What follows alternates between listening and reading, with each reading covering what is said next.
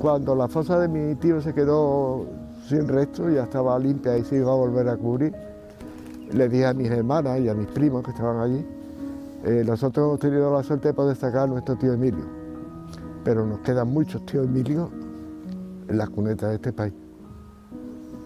O sea, los de aquí, los de allí, no, afectivamente no me son nada, nada extraños, al contrario.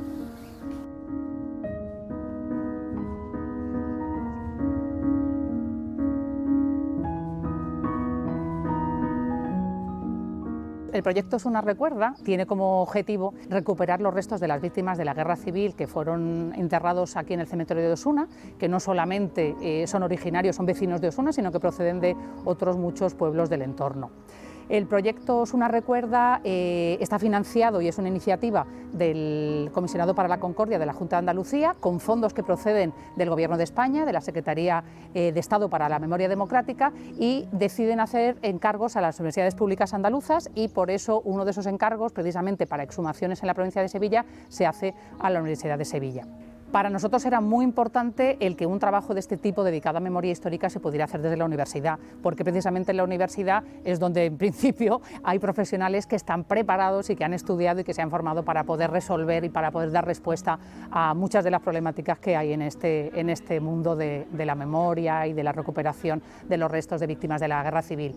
Así, por ejemplo, la Universidad de Sevilla, en colaboración también con la Universidad Pablo de Olavide, con la que también colaboramos en este proyecto, pues estamos arqueólogos, que somos los que estamos trabajando en campo, hay también antropólogos físicos, que bueno, que, esa titulación no la tenemos en la Universidad de Sevilla, pero son gente que ha salido de Sevilla y que se ha ido a terminar de formar en otros centros en España. Tenemos antropólogos culturales, que sobre todo están trabajando pues, con los familiares, con el duelo, con ese tipo de cuestiones, eh, y luego también otras muchas disciplinas auxiliares que nos ayudan, pues por ejemplo la, geografía, eh, cuestiones que tienen que ver, por ejemplo, con, todo lo que es la toma de datos en campo, y luego incluso pues, los compañeros de eh, historia contemporánea que son los que mejor conocen la documentación escrita y los archivos. ¿Qué es este? Eh, son estas dos las que hemos vuelto a abrir, porque eh, como ves todas las orientaciones son este-oeste, excepto estas dos.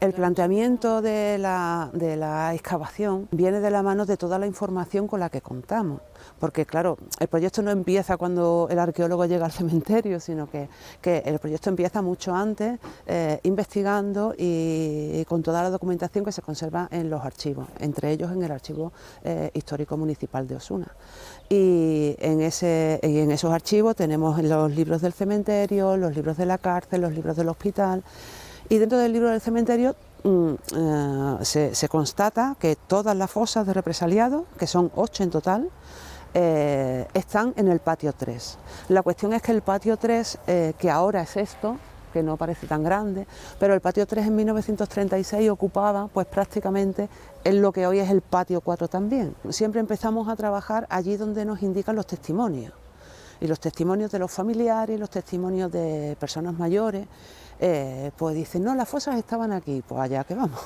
Las fosas estaban, pues mm, entonces hemos tenido que, abordar la excavación de una superficie muy grande del patio 3 y eh, justamente cuando empezamos a excavar en un arriate eh, grande que hay en este sector, que, donde todos los, testimonios que teníamos indicaban que ahí estaban las fosas judiciales, mm, nos dimos cuenta que tenían una orientación diferente y a partir de ahí empezamos a excavar esas fosas. Unas son de represaliado y otras no son de represaliado. O sea que eh, es complicado porque, porque lo tienes que excavar todo, al fin y al cabo lo tienes que excavar todo para poder eh, llegar a las víctimas. ¿Vale? Ahí es eh, donde está anotado el número de fosa, ¿vale? Perfecto, pues toma. Nosotros tenemos que trabajar de una manera muy concienzuda porque todos eh, los restos y todas las evidencias que nosotros podamos encontrar, además luego en, este, estos contextos les sirven a nuestras compañeras de antropología física y son unos complementos fundamentales. Nosotros, por ejemplo, tenemos que prestar mucha atención al registro material, a todos los objetos o todos los elementos que aparecen con los individuos. También todo lo que es la superposición estatigráfica, que es la base de la metodología científica. Y por eso eh, es muy importante que esto se haga eh, a través través de una metodología arqueológica que, por ejemplo, cuando comenzaron las primeras exhumaciones inmediatamente al comienzo de la transición española, que, fue a voluntad de los familiares, pues no se siguieron esas metodologías, con lo cual bueno, pues la identificación de los restos ha sido mucho más dificultosa. ¿Qué tal? Casi terminando ya la columna, pero está muy mal. Nuestro trabajo consiste en estudiar los restos humanos que aparecen en la exhumación para intentar ver todas las características físicas que podemos eh, recuperar para hacer un perfil demográfico y biológico de ese individuo. Pues dentro del perfil demográfico nosotros buscamos sobre todo la edad y el sexo porque cuadran muy bien con la documentación escrita que lo lleva a cabo otra parte del equipo de intervención y sexo, edad, estatura, Em, esos tres parámetros obviamente son muy importantes, pero también hay otros rasgos muy interesantes como, como son aquellos que son adquiridos durante la vida del individuo. Después hay otra serie de, aspectos que son más de tipo hereditario, son rasgos congénitos. Nuestra prioridad absoluta es crear un perfil demográfico y biológico lo más completo posible. ¿Por qué? Porque mm, tenemos que exprimir mm, todas las fuentes de información que tenemos en relación a esa persona, no tanto documentales de archivos arqueológicas, sino también antropológicas. ¿Por qué? Porque debemos de evitar toda la posibilidad de que haya un, por ejemplo, que el, ADN, la muestra genética, que es la que todos confiamos, pues no salga eh, todo lo, no salga positiva, ¿no? Entonces nos quedemos un poco con un vacío. Entonces el individuo no es una muestra genética, el individuo tiene un perfil biológico.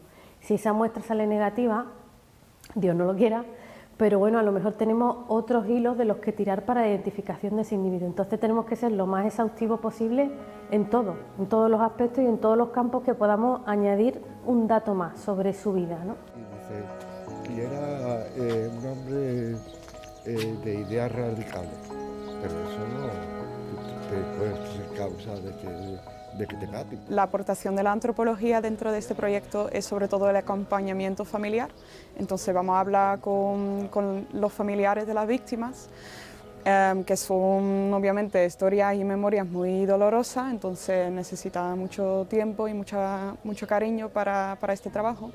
Y vamos intentando socializar mm, el duelo y la memoria traumática que, que tienen. Gracias al trabajo de, Santiago Fernández tenemos ya mucho, mucha documentación y bebemos al principio de eso y luego algunos informantes para, para ver si gente conoce, si les suenan los nombres, si saben dónde vive y así diferentes informantes vamos a intentar localizar los familiares. A, todas estas personas que están ahí eh, para fusilarlos en Estepa y en Estepa. Mi propósito era investigar la la historia de mis tíos en Nerva, pero como yo no podía, yo no puedo pagar económicamente, yo tengo mi familia con, sus condiciones, sus necesidades y demás, como no podía hacer aquello allí, pues hice esto aquí. Todo lo que era de la época lo he visto. No me ha quedado ningún libro por leer. He buscado en todos lados. Mi deseo es, y ellas lo saben, el provecho que ellas les a dar, a mí me, me, sirve, me vale, pero no tienen ni que darme las gracias, porque el motivo no son ellas, el motivo están ahí enterrados, el motivo están ahí enterrados. Mm, dado que mm, hace poco se han topado con los primeros cuerpos de las víctimas, mm, es el momento ahora que los antropólogos sociales y culturales se van incorporando. Entonces, en primer lugar, tenemos que localizar los familiares y después, o sea, han venido algunos familiares ya, pero el trabajo viene, viene ahora. En septiembre de 1936. Entonces, ya ha pasado los dos meses complicados que han sido los que pues, ha muerto mucha gente y prácticamente se han llenado tres de las fosas que estamos buscando. ¿no? En el movimiento memorialista eh, se echaba mucho en falta eh, eh, que el mundo académico no entrara en él, no trabajara en el tema de la memoria, tanto a nivel de relato de historiadores como de trabajo físico en el tema de las excavaciones. Luego, esto es, para mí, desde mi punto de vista, algo fantástico, que el mundo académico haya entrado y en estas condiciones, con el equipo que ha montado, es una recuerdo. Mm, es que nosotros no podemos darle otra perspectiva porque, porque somos investigadores. Somos investigadoras, no, no podemos decir, no, esta parte la voy a trabajar de otra manera, no, nosotros somos investigadoras en, cualquier ámbito y en este ámbito también, y en este ámbito es donde quizás hace más falta. Mm, porque tenemos que dejar a un lado, eh, no sé, otras cuestiones que son como más, más íntimas, más eh, de sensaciones y tal, y cambiar eso por ciencia, que es lo que nosotros intentamos hacer cambiar todo eso, pero, pero eso no significa que nosotros no tengamos sentimiento, mm, ni, ni, que, para nosotros no sea duro eh, el trabajar en memoria, sino que, que tenemos la obligación como científicos de aportar lo mejor de nosotros y lo mejor de nosotros como profesores, como, como universitarios, que es nuestra propia formación, nuestro afán de investigar, mm, de difundir también. Creo que por eso es importante que, las dos universidades sevillanas estén en este proyecto. En concreto, Osuna recuerda y en general el trabajo en memoria histórica, desde el punto de vista de un antropólogo, creo que por lo menos yo me siento muy gratificada ¿no? y muy satisfecha, también porque me siento bastante útil dentro de mi profesión. Y ya no es solo a nivel de, la información que nosotros podemos aportar sobre unos restos humanos, sino que cuando estamos trabajando todos en conjunto y mis compañeras me dicen, pues tengo en el registro civil viene un individuo de tanta edad, de no sé qué, y yo, pues yo tengo uno que no sé qué, y la otra, pues eh, eh, quizás estaba trabajando como chofer, pues tiene una lesión en las lumbares, de no sé qué. Entonces, eso mm, muchas veces decimos, nos ponemos pelo de punta.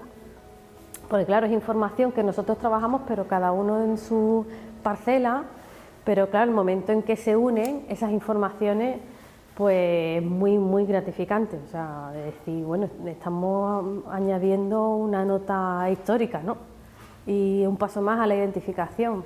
El objetivo final del proyecto es una recuerda, como todos estos proyectos que se están desarrollando en toda España relativos a la memoria, es en primer lugar la iniciativa eh, ya en los años 80 eh, es la de poder devolver los restos de las víctimas a sus familiares, pero a medida que va pasando el tiempo esos familiares ya son cada vez menos, eh, con lo cual quizá el objetivo final que nos tenemos que plantear como sociedad es honrar de manera colectiva la memoria de todas estas personas. Al final son también los ayuntamientos los que tienen que tomar las decisiones de, de cómo darle forma a eso, eh, memoriales, eh, monumentos de homenaje y sobre todo pues que, no se pierda la memoria de esas personas y que entre todos pues lo que estamos consiguiendo hacer ahora se proyecte hacia el futuro y como, como colectivo y como sociedad pues tengamos siempre presente aquellas personas que, bueno, que fueron asesinadas de manera ilegal y en unas circunstancias pues que si eh, hubiera sido un Estado democrático y, y, justo pues no se habría producido.